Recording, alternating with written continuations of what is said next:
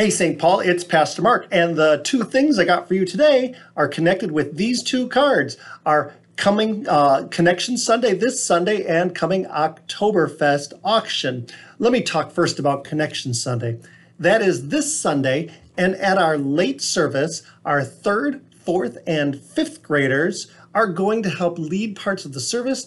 They will sing. We will get to celebrate the ministry of the gospel in St. Paul Lutheran School and kids that are help, able to help lead today, not the church of the future, but the church of today. I think you'll be encouraged. And after that, uh, we will have a cookout lunch of hamburgers and hot dogs right out on our patio. And so, not only for school families, but this would be a great Sunday go ahead and invite a friend. Uh, we'll be prepared to be particularly good hosts this weekend. Then, coming up on uh, October 21st is our auction. I, I just got to sit on in on a little bit of a meeting for the auction.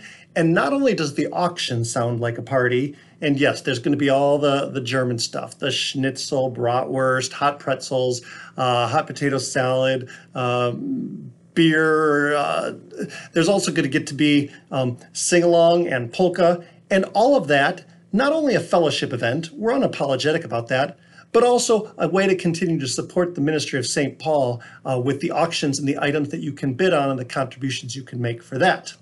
But not only is that a party, I just got to listen in on what's going to be involved in the childcare that's like a party on its own too.